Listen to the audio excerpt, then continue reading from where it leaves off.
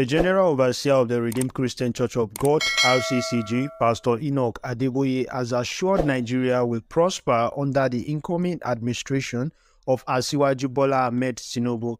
He said Tinubu can fix Nigeria with God's help, urging the president-elect to fulfill Nigeria's dream of a new nation. Adeboye, represented by his special assistant, Pastor Dele Balogun, spoke at the monthly Thanksgiving service at the RCCG headquarters in Ebute He said, Let us pray for the incoming government that God will support it and give it the grace to do the right thing.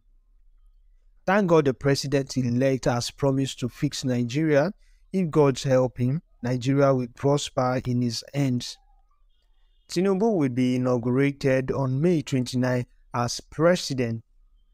So guys, thank you for watching our video. Please kindly subscribe to this YouTube channel to get more information and don't forget to like this video and drop your comment. Thank